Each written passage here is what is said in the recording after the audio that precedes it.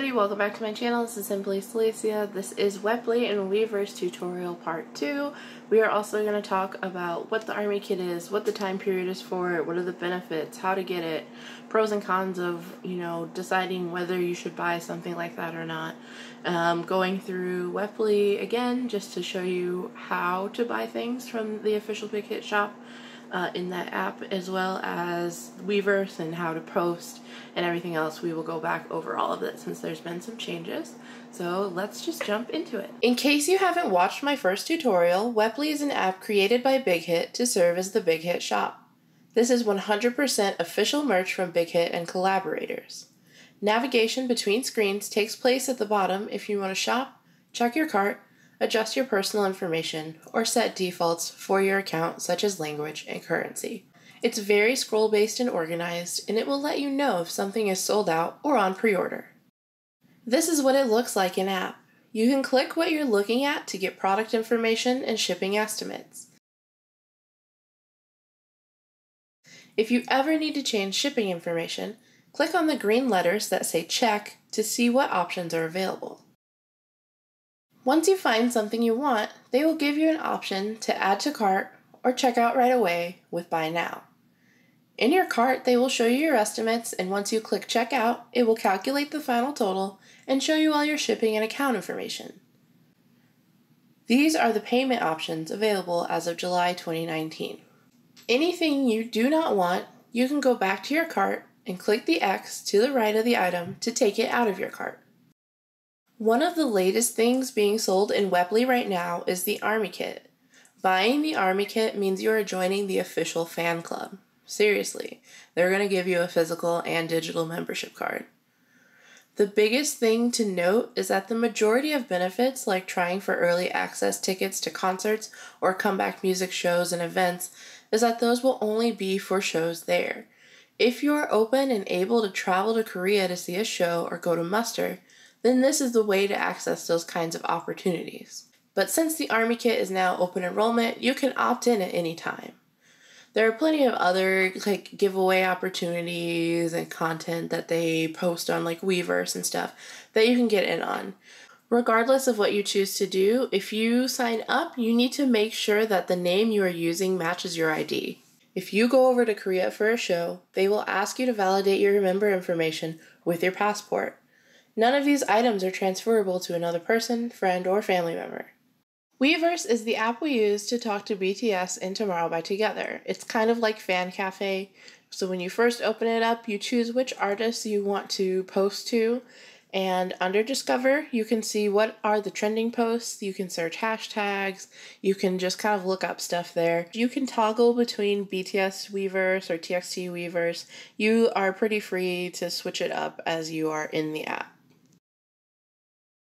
Under the My section, that's where all your personal information is. So, kind of like what are your posts? What have you bookmarked? What are you cheering on? Like stuff like that is there. And then in notifications, that's what have the artists post and sent to us. Uh, what are the announcements? Stuff like that is all in notifications.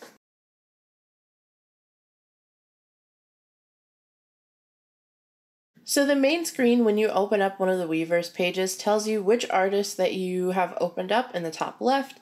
You get feed, you get artist, and you get media.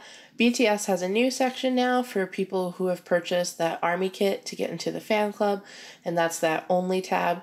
That is kind of like where they post everything that's not supposed to be reposted onto other websites or anything else. So they give all this information in the feed. That's basically where you see what other fans are talking about, what's the general like what's going on? What's popping guys is what's in the feed. In the artist you can see what bts or tomorrow by together members have been posting.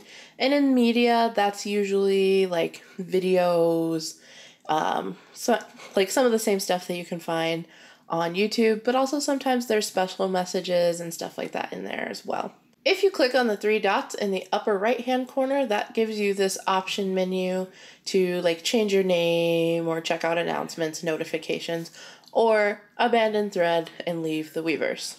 If you want to create a post, you go find that pencil in that bottom right corner and click on that.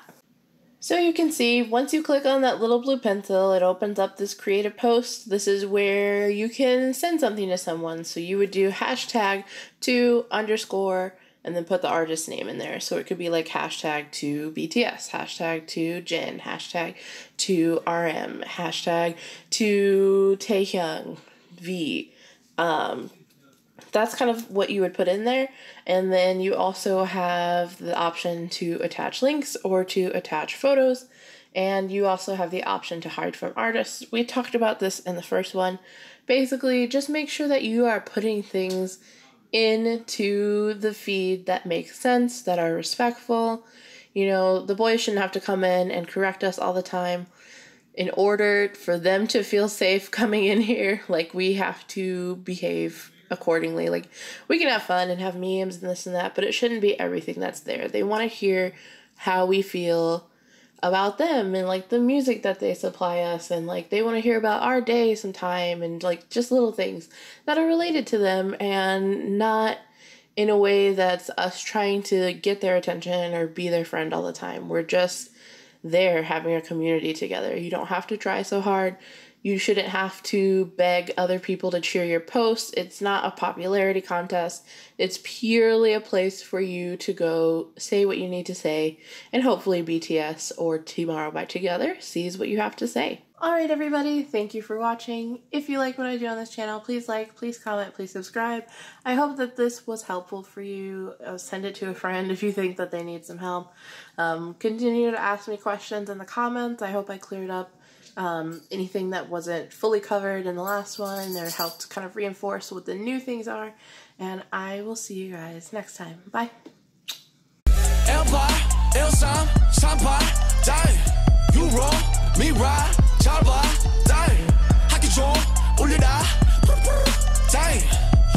이번 생은 글렀어 너